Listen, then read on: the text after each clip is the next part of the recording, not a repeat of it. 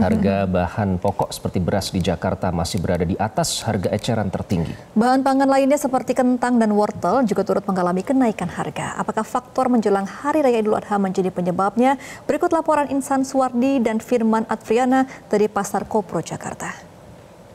Menjelang Hari Raya Idul Adha, sejumlah bahan pokok ini biasanya mulai mengalami penyesuaian harga.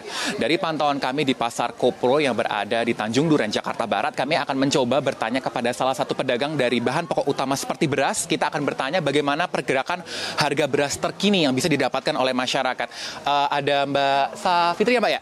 Oh iya, Sawitri. Mbak, kita mau tanya-tanya dikit ya Mbak. Harga beras di toko Mbak saat ini yang paling murah di harga berapa Mbak? Untuk yang paling murah di toko saya yang saya jual saat ini di Rp14.000. Ya. Itu untuk beras lokal ya Mbak ya? Uh, itu beras lokal. Mbak, sebenarnya kalau beras sendiri kan kalau kita lihat nih harganya masih di atas harga eceran ya Mbak. Ini kenapa sih Mbak sebenarnya sejak kapan sih Mbak? Uh, sebenarnya dari supplier kita tuh sebenarnya ada kenaikan.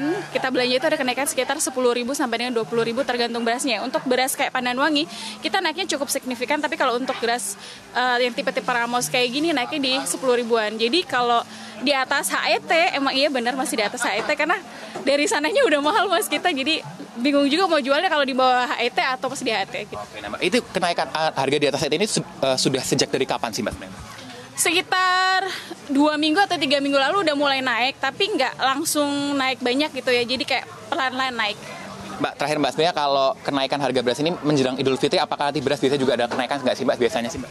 Kalau dilihat, sebenarnya kalau dari tren yang sekarang aku lihat dari harga yang dapat dari supplier, itu kan udah mulai naik ya.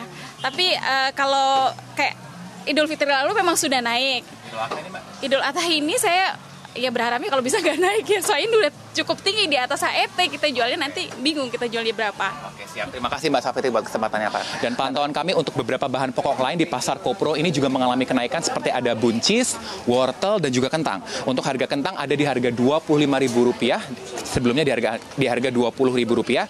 Sama juga di harga buncis dan wortel yang sebelumnya di angka Rp20.000 kini naik menjadi Rp25.000 per Rp25.000 dan menyebutkan bahwa memang uh, faktor Idul Adha ini masih belum terlihat uh, volatilitas kenaikan harga harga mengingat masih cukup jauh, masih ada waktu sepekan dan biasanya para pedagang menyebutkan ada di uh, rentang waktu H-3, H-1 sebelum Hari Raya Idul Adha yang akan mempengaruhi harga-harga berbagai bahan kebutuhan pokok. Dari Jakarta, Insan Suwardi, Firman Atriana, Metro TV.